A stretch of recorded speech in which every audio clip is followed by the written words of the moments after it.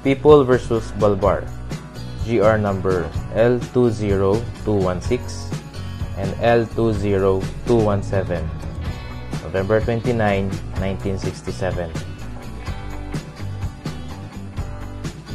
Elements of acts of lasciviousness. Number 1. That the offender commits any act of lasciviousness, of lewdness. Number 2 that the act of lasciviousness is committed against a person of either sex. And number three, that it is done under any of the following circumstances. A. By using force or intimidation. B. When the offended party is deprived of reason or otherwise unconscious. C. By means of fraudulent machination or grave abuse of authority. D when the offended party is under 12 years of age or is demented. The facts of the case.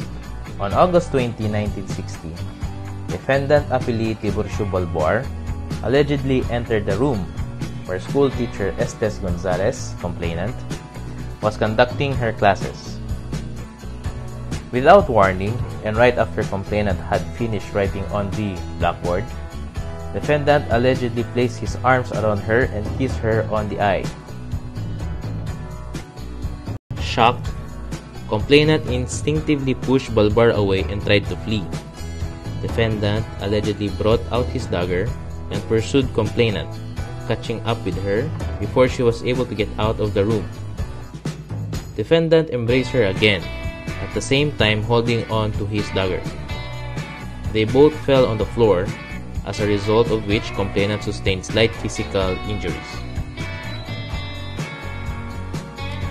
The issue now is whether or not the accused is liable for acts of lasciviousness.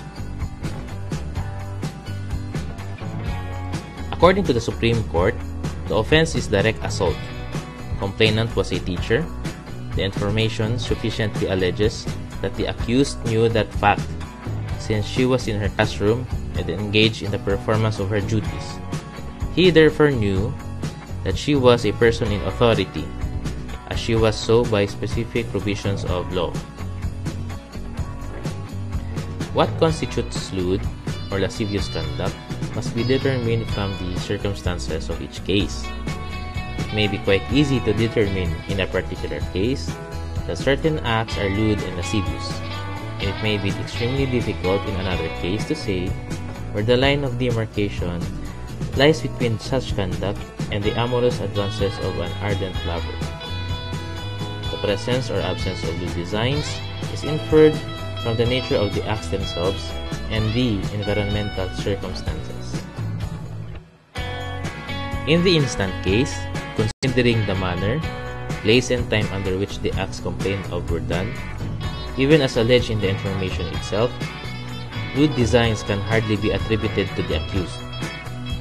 The factual setting, example, a schoolroom in the presence of complainant's students, and within hearing distance of her co-teachers, rules out the conclusion that the accused was actuated by a lustful design or purpose, or that his conduct was lewd or lascivious.